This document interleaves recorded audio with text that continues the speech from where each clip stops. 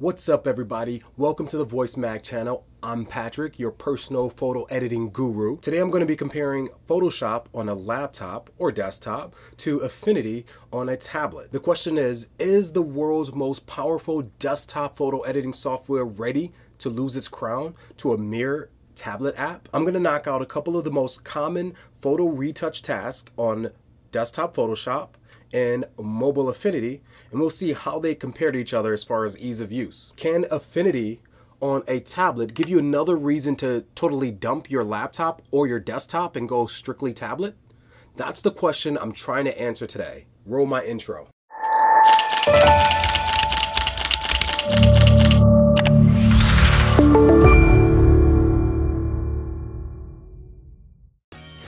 You might be wondering why am I comparing full desktop software to mobile software or mobile apps, right? But if you think about it, logically we should be comparing the two. Your tablets, they're now being built with dual core, quad core, and even six core processors. And they don't have the same type of hard drive space that your desktop would.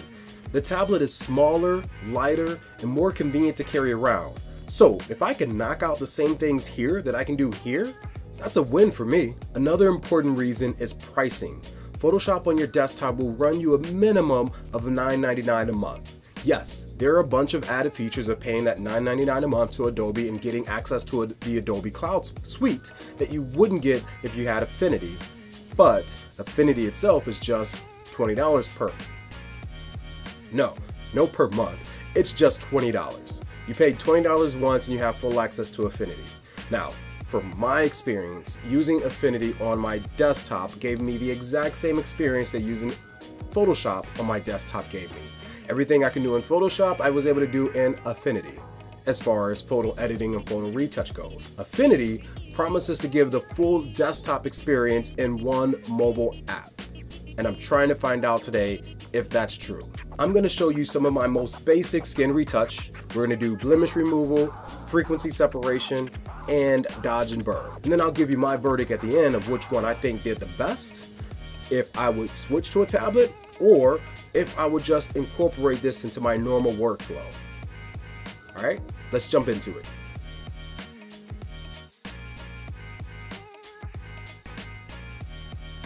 So on the left side of the screen, I'm running Photoshop CC on my MacBook Pro. And on the right side of the screen, I'm running Affinity on my iPad Pro. As you can see in both applications, I'm using the blemish removal tool to clear up some of the spots on uh, the model Abby's face. Both tools run or work pretty similarly. The uh, tool feels a little more natural in the Photoshop as opposed to how the tool feels in Affinity. Affinity does a different style of uh, selection, so it feels just a little bit different. So that's something you would end up having to get used to if you are switching from Photoshop to Affinity. Now, as far as the blemish removal tool goes, uh, what I'm noticing is that I feel that I'm getting slightly more natural looking results from Photoshop than I am from Affinity. Affinity seems to be doing a little bit of extra smoothing when I clear up these blemishes or when I move the blemish skin onto a uh, non-blemish skin to have it uh, content aware have that take over that that skin. Now the content awareness on Photoshop seems to be a little more spot on to matching the skin textures and tones with each other. So the results for blemish removal seem to be slightly better in Photoshop than they are with Affinity. And since I'm more used to the Photoshop tool, I'm, I seem to be able to get through blemish removal a little bit quicker. Now what you're noticing now is that I'm setting up the Photoshop since I finished blemish removal a little bit quicker in Photoshop. I'm setting up the side with Photoshop on the left side here. I'm setting up um, frequency separation. So I'm about to get into frequency separation now. Now, if you've already seen my video on frequency separation, great, you know what's going on. If you haven't watched my video on frequency separation, I'll have the link in the description so you can go back and watch that. That way you know what exactly I'm doing with these different layers. One is a tone layer with no uh, texture and the other is all the texture on the layer. And what I'm doing is smoothing in out the uh, the texture or the tone layer, excuse me, so I can still keep the skin texture but have the uh, the tone. And it's it's it's kind of complicated, but not too complicated.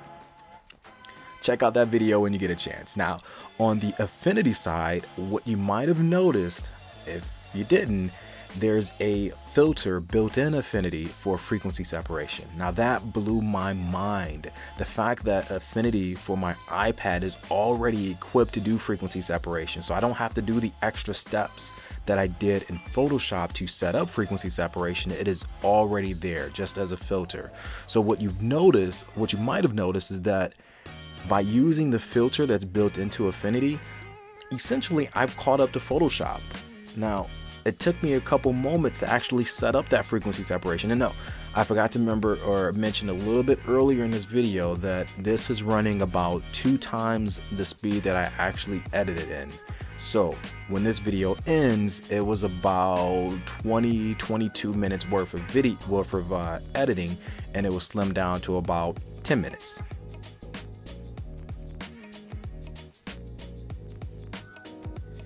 Now, for the sake of fairness, I'm not exactly using all of the Photoshop shortcuts. Now, I can definitely tell you if I was using the Photoshop shortcuts, and I don't know why I didn't. If I was using the Photoshop shortcuts, it's no question that Photoshop, the speed of Photoshop would have knocked uh, Affinity out of the water.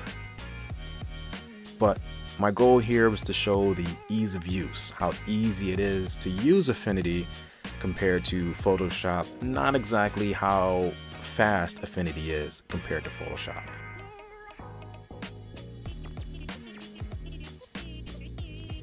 Now with this frequency separation, uh, the goal is to select blotches or areas of skin and uh, smooth out the uh, tone so they match up and so it looks a little more even.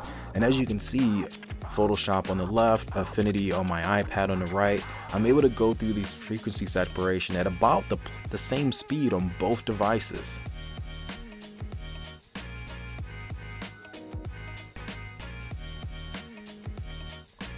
I would have to say uh, if Photoshop won the first round of blemish removal, it, just because Affinity Photo has that uh, frequency separation filter built in, Affinity would definitely have to win the round of frequency separation.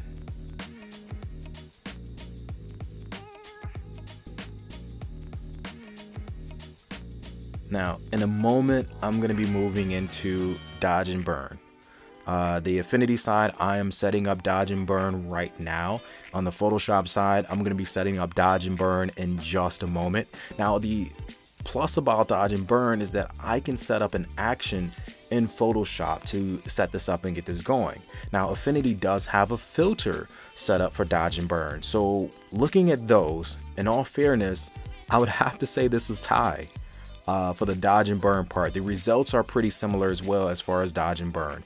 Now, let me break this down for you. In a moment after I finish the dodge and burn, I'm going to exaggerate the dodge and burn a little bit just so you can see the, the uh, uh, what it does, uh, or just so you can see the results and see how easy it is to do dodge and burn in both of these applications. Now, to break this down for you, if I was to choose, I this would be a hard one because I feel that I'm able to get some more uh, more natural results from Photoshop, but Affinity is not that far off.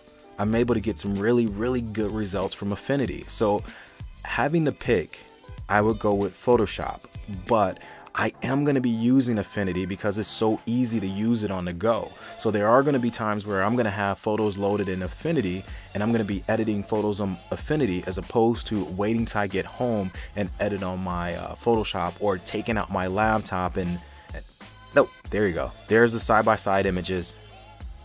Photoshop on the left, Affinity Photo on the right.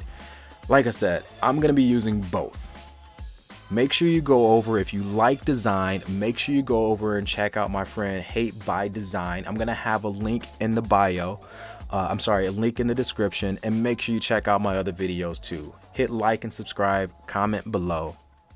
Happy shooting